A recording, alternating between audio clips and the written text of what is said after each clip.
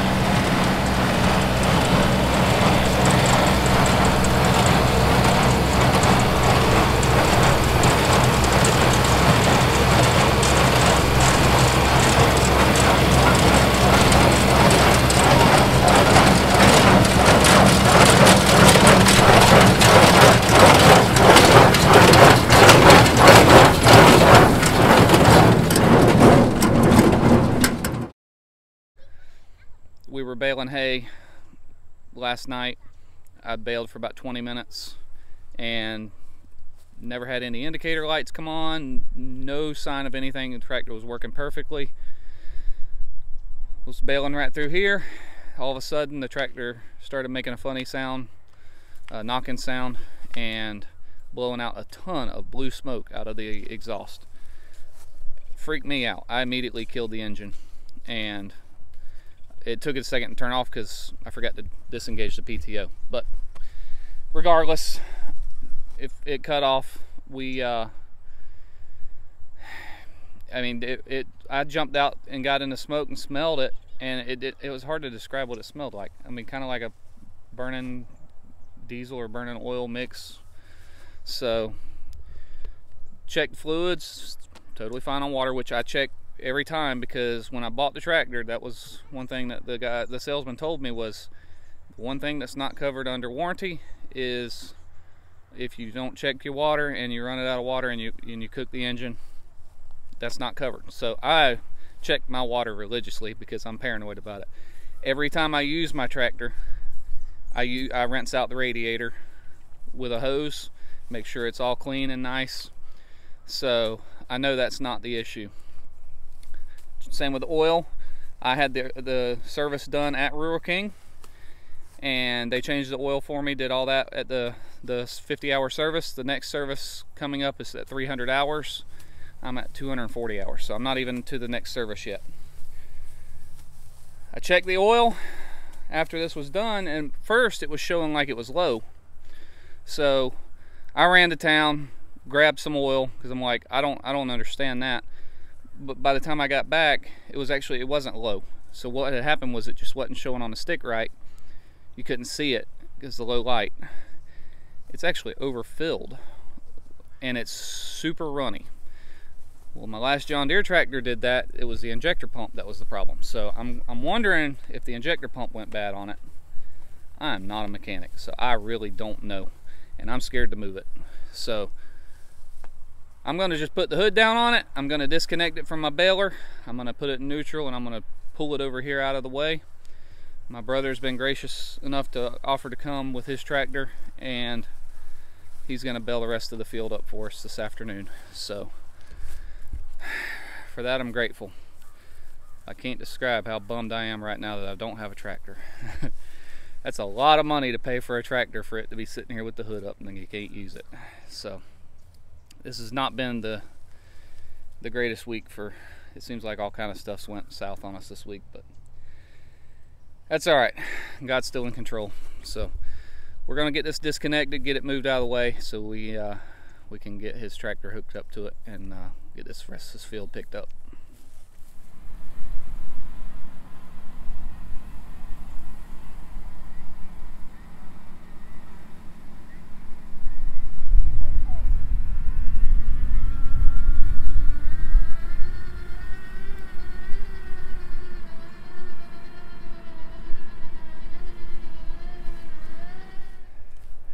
It is just not natural pulling on a brand new tractor. I hate it, but ain't nothing I can do about it. So we actually just got a call back from Rural King and they're gonna get with us on Monday. Apparently the mechanics, they can't even get them on the phone today. So it'll be Monday before we hear anything. We do know they're about three weeks out on mechanic work. So we're gonna be we're gonna be without our tractor for a while. It's gonna be interesting. So I've sung Rural King's praises for a long time on these tractors and their customer service. I'm very interested to see how this pans out.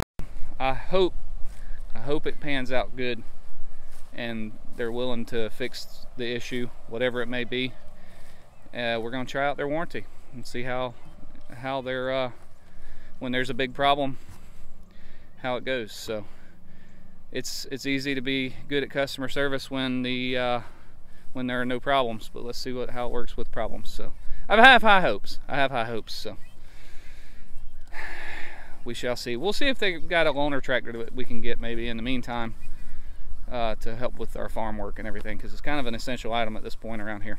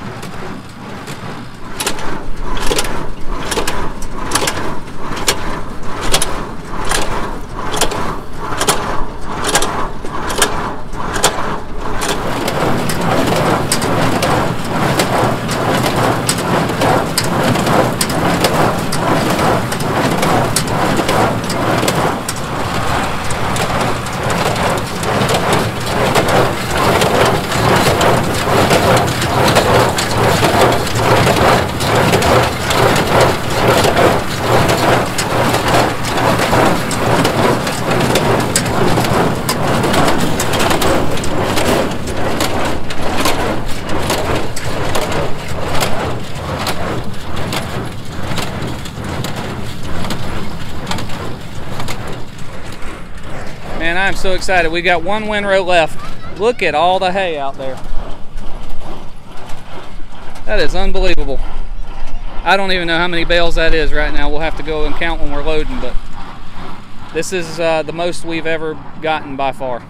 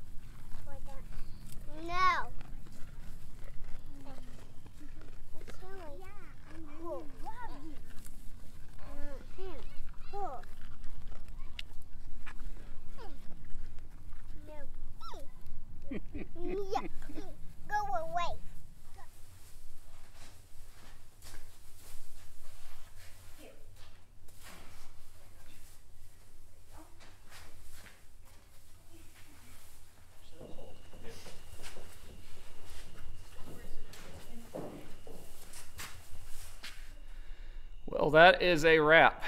We are shot. oh, man. My brother's tractor performed perfectly. It didn't it didn't have any issues at all running our baler. I was not sure how it would work because their tractor's actually his tractor's a uh, 1920, which I think is a 32 horsepower at the PTO, and ours is 37. Um, so I wasn't sure how that was going to work. Man, it it it did great. It didn't bog at all. It was it was perfect. So I am so thankful for him for coming and doing that for us. And uh, we got it all baled and all picked up. I ran out of string about five bales from the end. I do have reserve string, but it's smaller stuff, and I don't really like using it because it's rough on your hands and it don't tie right. So, but we uh, we got 221 bales off of our field this time. The most I've ever gotten is 86, I think. I'd have to look back at my last year's videos, but uh, this was a bountiful year. And man, what a blessing. 221 square bales. The resale value on that has me tempted to sell some of it instead of feeding it all to my cows, but we'll see. I'm just thankful to have it done. We're going to wrap this video up for tonight. Thank you guys so much for watching and supporting our channel. We'll see you next time.